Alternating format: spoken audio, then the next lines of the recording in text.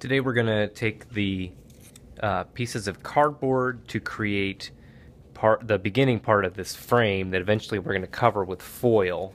So you're going to create the frame with four pieces of cardboard. You'll add some textures on with uh, extra pieces of cardboard and then we'll wrap it in foil. You can see there's the cardboard underneath and it ends up looking like it's a nice decorative frame and we can put our picture inside of that.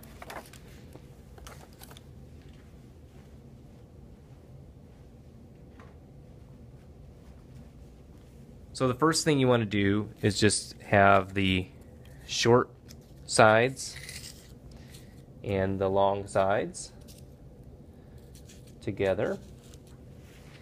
And then you're going to take a piece of tape and you can just tear across like that and make sure those corners are lined up and then wrap here and then around the side. So it's going to look like that on one side. It's going to look like this on the other.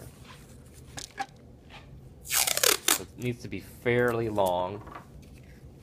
If you get a short piece, you can do it in two. I can. I'll show you that on another corner.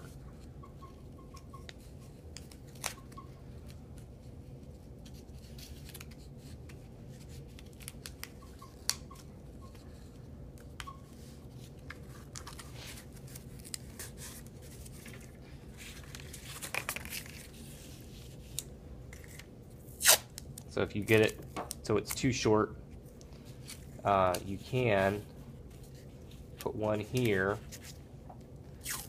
and then one that goes around.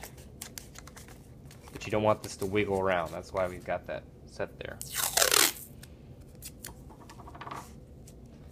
And then try to make sure that this end is lined up so you don't have this really weird frame that doesn't it's not square on each end.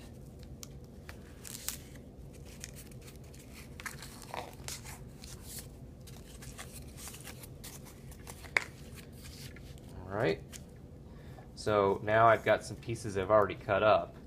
Um, and anything that you have on this cardboard isn't going to show up underneath the metal. So some people were finding cardboard cereal boxes and they would cut out, you know, the the spoon or something, but the picture of the spoon isn't going to show up because it's going to be covered with foil.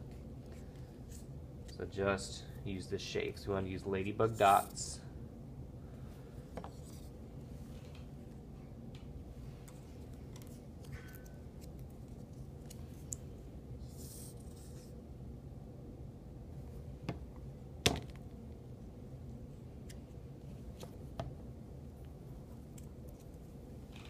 You can build it up a little bit if you want.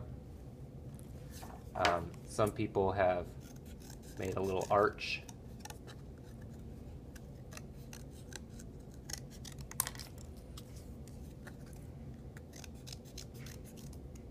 And then they can glue that here and that makes a nice look to it too.